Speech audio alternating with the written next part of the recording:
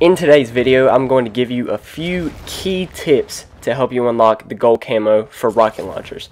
I would say majority of players hate going for camos with rocket launchers even though the challenges have gotten much easier in Modern Warfare 2, it can still be challenging to get those kills. Alright, the very first tip we have is to play Ground War. Do not play Invasion. Invasion has the bots, and sadly the bots do not count towards camos. In Ground War, the only players that are playing are actual real-life players, so every kill you get will count towards camos.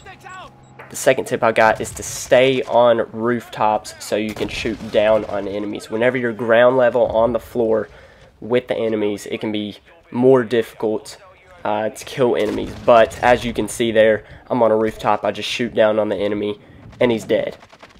So the third tip I have is if at all possible, spawn in on teammate helicopters. This makes it 10 times easier to get across the map and get to locations and rooftops to shoot down on the enemies.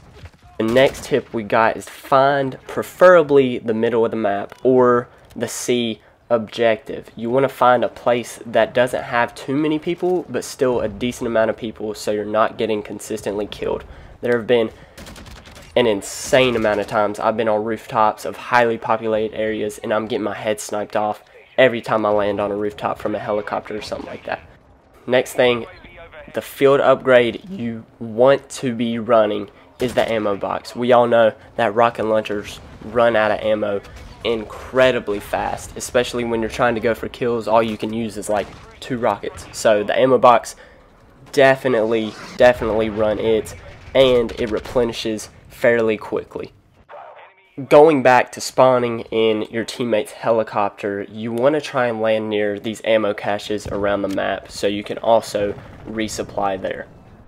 Something else I highly recommend is running the ghost perk on the minimap. You see people constantly, so when people aren't able to see you, it's definitely a benefit to being able to sneak up on them and kill them and not be detected. This is the final tip, and this is just a personal preference run another gun that you're trying to get camos on. In the video, I'm running the Lachmann 762 because I'm only a couple camos away from getting it gold. I know some of these tips were very generic and you already knew some of these, but if you want more straight to the point content, please consider leaving a like and subscribe as it helps me so much. Thank you for watching, and I'll see you in the next one.